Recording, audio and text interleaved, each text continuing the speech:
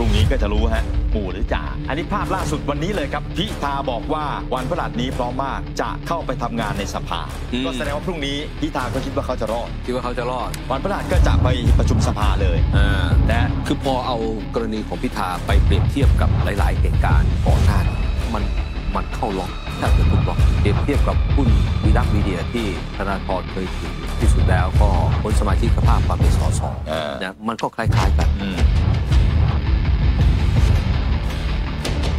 สวสมชายแสวงการโพสเฟซบุ๊กแล้วก็วิเคราะห์ในคดีนี้นะครับ ก็จั่วหัวมาก่อนเลยนะครับว่า ในฐานะที่เคยเกี่ยวข้องกับเรื่องนี้หลายกรณีต่างกรรมต่างวาระกัน ก็ขอแสดงความเห็นประกอบข้อกฎหมายนี่นะฮะซึ่งจะไม่สามารถไปชี้นำหรือส่งผลอย่างใดอย่างหนึ่งต่อคำวินิจฉัยได้ คุณสมชายแสวงการก็วิเคราะห์ออกมา อย่างข้อแรก บริษัทไอทีวียังคงเป็นสื่อมวลชน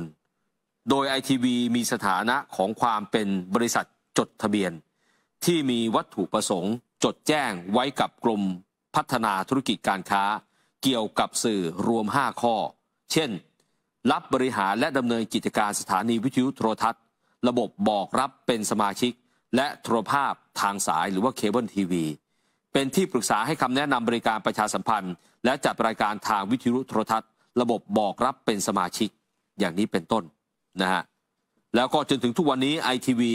ยังไม่มีการจดทะเบียนเลิกบริษัท หรือยกเลิกวัตถุประสงค์เกี่ยวกับเกี่ยวกับสื่อมวลชนทั้ง 5 ข้อ ฉะนั้นจึงเห็นว่านายพิธาน่าจะขาดคุณสมบัติ และมีลักษณะต้องห้าม ก็อ้างอิงว่าสอดคล้องกับคำวิจัยของศาลรัฐธรรมนูญตอนนั้นเนี่ยเคยวินิจฉัยธนาธรจึงรุ่งเรืองกิจ ขาดคุณสมบัติเช่นกัน และมีลักษณะต้องห้าม เพราะว่าตอนนั้นถือหุ้นของบริษัทวีลักมีเดีย ที่บอกว่าปิดการไปแล้ว แต่ว่าไม่จดทะเบียนยกเลิกบริษัท สารรัฐธรรมนูญก็เลยเห็นว่ายังสามารถประกอบกิจการสื่อมวลชนได้อืมกรณีนี้ก็เหมือนกัน เขาก็ไปเทียบเคียงกับวีลักมีเดียเออเนี่ยที่ทางสวสมชายเทียบเคียงให้เห็นนะครับ ข้อ2เอ่อบริษัทไอทีวีชนะคดีเบื้องต้นแล้ว 2 ยก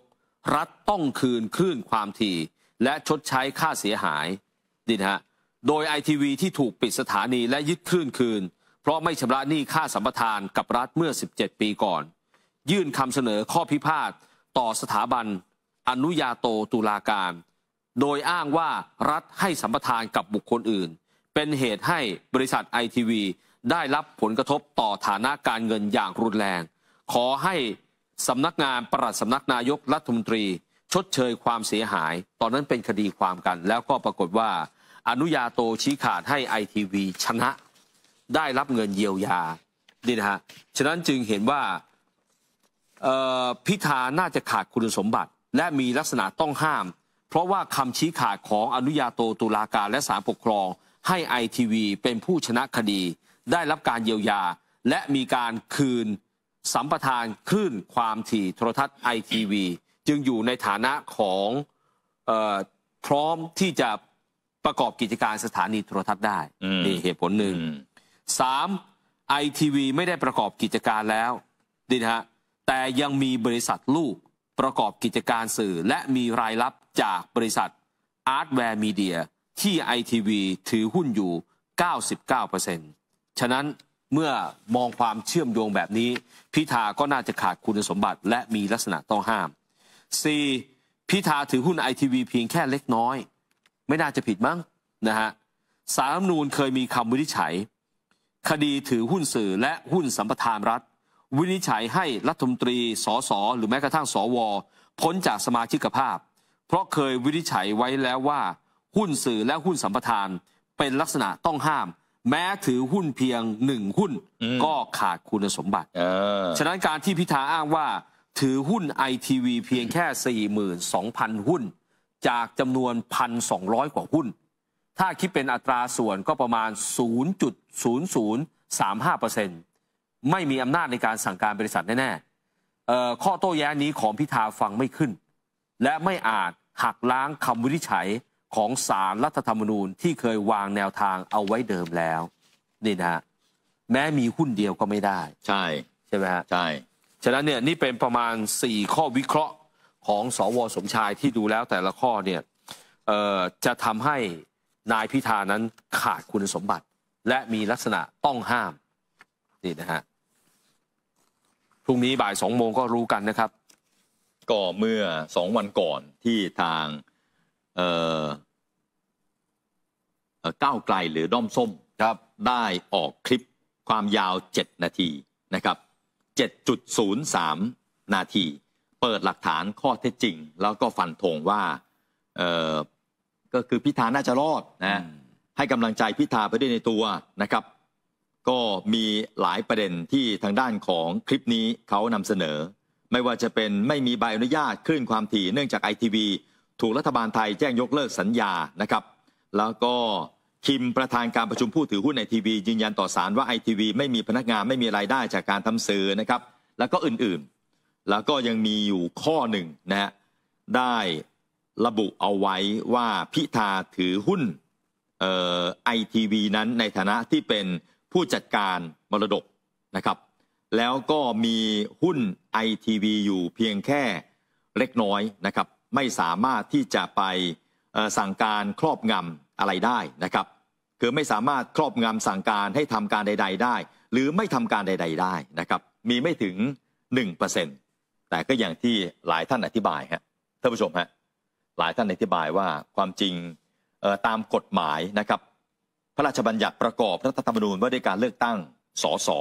ปี 61 มาตรา 42 วงเล็บ3นะ อ่านให้ฟังชัดๆอีกครั้งหนึ่ง บุคคลผู้มีลักษณะเป็นเจ้าของหรือผู้ถือหุ้น ในกิจการหนังสือพิมพ์ หรือสื่อมวลชนใด ๆ เป็นบุคคลต้องห้าม มิให้ใช้สิทธิ์สมัครรับเลือกตั้ง เป็นสสนะครับเห็นไหมบุคคล ผู้มีลักษณะเป็นเจ้าของหรือผู้ถือหุ้น ในกิจการหนังสือพิมพ์ หรือสื่อมวลชนใด ๆ เป็นบุคคลต้องห้าม ไม่ให้เป็นสสเขาไม่ได้บอกนะเขาไม่ได้บอกว่าเอ่อเขาไม่ได้วงวงเล็บ หรือเขามีหมายเหตุอะไรว่า ยกเว้นถือหุ้นไม่ถึงเท่านั้นเท่านี้ ยกเว้นถือหุ้นแล้วไม่สาไม่ไม่สามารถที่จะไปสั่งการหรือครอบงำอะไรเขาไม่มียกเว้นอืมเขาบอกแต่เพียงว่าใครที่เป็นเจ้าของหรือถือหุ้นในกิจการหนังสือพิมพ์ หรือสื่อมวลชนคุณเสร็จอืมนะครับ จากกรณีหุ้นไอทีวีพบว่ามีการจดทะเบียนในฐานะสื่ออย่างชัดเจน แม้จะประสบปัญหาทางธุรกิจมาเป็นระยะเวลาหลายปี รวมถึงไม่ได้ดำเนินธุรกิจตามปกติเหมือนในอดีต แต่ก็ยังไม่ได้จดทะเบียนเลิก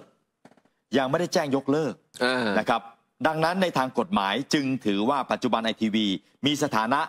ยังดำเนินกิจการอยู่อืมนี่ท่านผู้ชมฮะและในช่วงตอนเย็นที่ผ่านมานะฮะในช่วงตอนเย็นที่ผ่านมาเอ่อ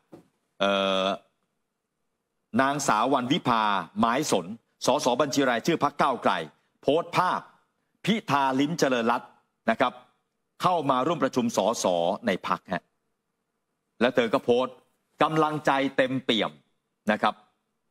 พิธาเข้าร่วมประชุมสสวันนี้ พร้อมกำลังใจล้นหลาม เตรียมตัวฟังคำตัดสินสามรัฐธรรมนูญในวันพรุ่งนี้ แจ้งข่าวเพื่อนๆทุกคนว่าพฤหัสนี้พร้อมมาก ที่จะเข้าไปทำงานในสภา ขอให้ทุกคนทำงานให้เต็มที่ลุย อันนี้เป็นคำพูดของพิธานะ เออนะฮะวันพฤหัสนี้พร้อมมาก คือถ้าพูดแบบนี้ก็แสดงว่า อันนี้พูดผ่านที่เอ่อนางสาววันวิภาสสบัญชีรายชื่อพักเก้าวไกลก็ได้โพสต์ล่าสุดเลยนะฮะนี่ฮะ อันนี้ภาพล่าสุดวันนี้เลยครับ อืมพิธาบอกว่าวันพฤหัสนี้พร้อมมากจะเข้าไปทำงานในสภาอืมก็แสดงว่าพรุ่งนี้ พิธาก็คิดว่าเขาจะรอด คิดว่าเขาจะรอด วันพฤหัสก็จะไปประชุมสภาเลยอ่านะฮะสสที่ถูกสั่งหยุดปฏิบัติหน้าที่ไปตั้งแต่วันที่ 19 กรกฎาคม ปีที่แล้วก็จะหวนกลับมา อืมพรุ่งนี้ก็จะรู้ฮะ หมู่หรือจ่านะฮะนี่ฮะคือคือพอเอากรณีของพิธาไปเปรียบเทียบกับหลาย ๆ เหตุการณ์ก่อนหน้านี้ มัน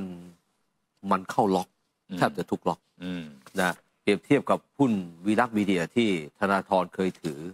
แล้วก็ที่สุดแล้วก็พ้นสมาชิกภาพความเป็นสสนะมันก็คล้าย ๆกัน เพราะว่าไม่ได้มีการจดทะเบียนยกเลิกกิจการนะหรือแม้กระทั่งสสบางคนก่อนหน้านี้ที่เคยโดนพ่อถือครองหุ้นสื่อ ก็แม้แต่คุณถือหุ้นหุ้นเดียวก็โดนใช่อย่างเงี้ยสองสามเหตุการณ์เนี่ยมันไปเข้าล็อกหมดนะมันเคยเกิดขึ้นมาแล้ว แล้วสารรัฐธรรมนูญก็เคยพิจารณามาแล้วไงนี่